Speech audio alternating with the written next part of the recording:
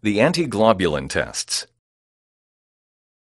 The direct antiglobulin test, or DAT, is requested when immune mediated hemolytic anemia is suspected. A blood sample must be drawn.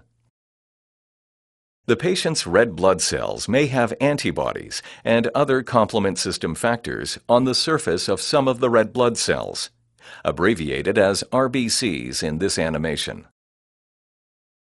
The blood sample is washed to remove the patient's plasma while leaving the red blood cells intact with their attached antibodies. These red blood cells are incubated with anti-human globulin containing both anti-IgG and anti-complement. The anti-human globulin binds to the patient's antibody, coating the red blood cells, resulting in agglutination.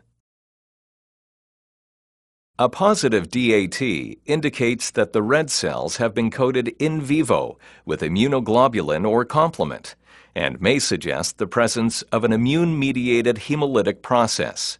The DAT is used in the investigation of transfusion reactions, autoimmune hemolytic anemia, hemolytic disease of the newborn, and drug-induced hemolysis.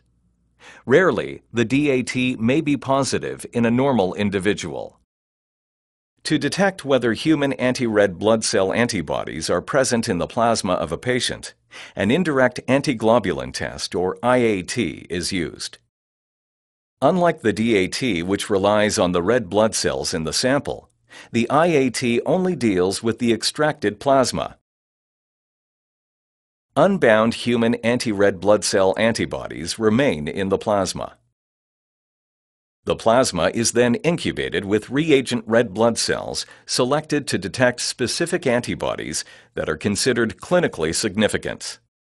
The anti-red blood cell antibodies of the patient's plasma bind to reagent red blood cells to form antigen-antibody complexes.